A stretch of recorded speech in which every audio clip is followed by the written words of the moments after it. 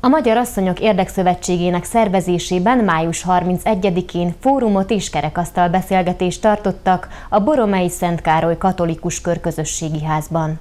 Olyan témákat érintettek, mint a gazdaság élénkítés, a munkahelyteremtés és a vállalkozásfejlesztés.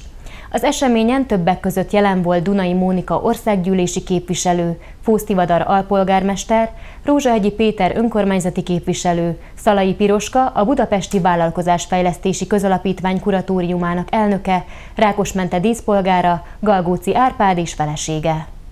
A Magyar Asszonyok Érdekszövetsége 2000-ben alakult.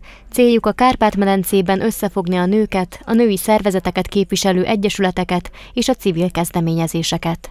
Olyan közösség, ami nem csak a nőkkel, hanem férfiakkal is jól együttműködik, hangsúlyozta Szőnyi Kinga, a Magyar Asszonyok Érdekszövetségének elnöke nem kell megijedni, nem csak nőies témákkal foglalkozunk, hanem bizony a családbarát szemlélet, a hagyományos családmodellt hirdetjük. Azt hiszem, hogy itt ezt nem kell nagyon bizonygatnunk, hogy ez a 21. században a migráció így végignézve milyen fontos ez a szerep, amit mi most vállalunk. Sokszor célkereszt van a homlokunkon, hiszen kimondunk olyan dolgokat, amelyeket bizony nem sokan mernek kimondani, hogy a család egy férfiből és egy nőből áll. Ezt követően Dunai Mónika országgyűlési képviselő, a Női Méltóságért Albizottság elnöke tartott beszédet, aki a kormány intézkedéseiről és a Női Albizottság szerepének fontosságáról szólt. Mi itt Magyarországon a gyermekek születését szeretnénk minden lehetséges eszközzel elősegíteni, és támogatni a családokat, hogy erre vállalkozzanak.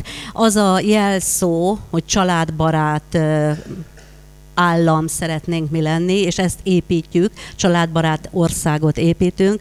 Ez nem csak egy szlogen, nem csak egy mondás, hanem ez minden törvényünkben megmutatkozik. Hozzátette, hogy Rákos mentén is családbarát önkormányzat működik.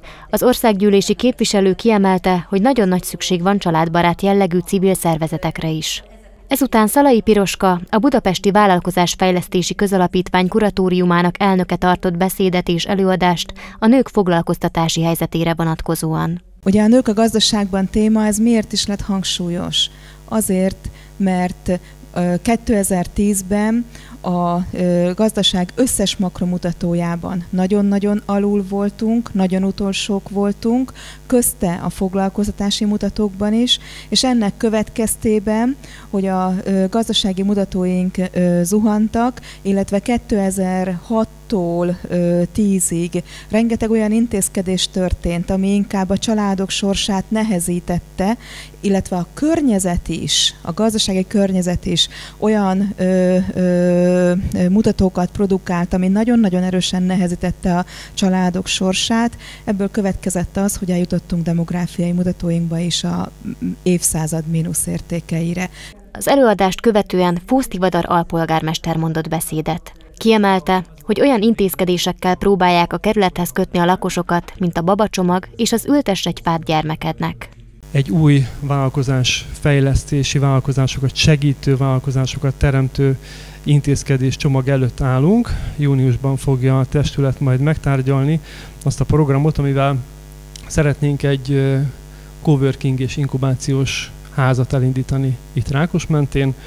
Méghozzá a Pesti út 80-ban a volt tankerületi központ helyén.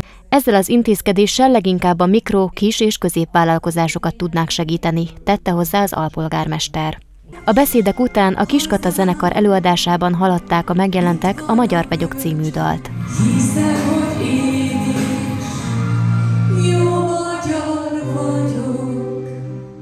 A kerekasztal beszélgetés során helyi vállalkozókat kérdeztek, Huszár Gáborné Csillát és férjét Huszár Gábort.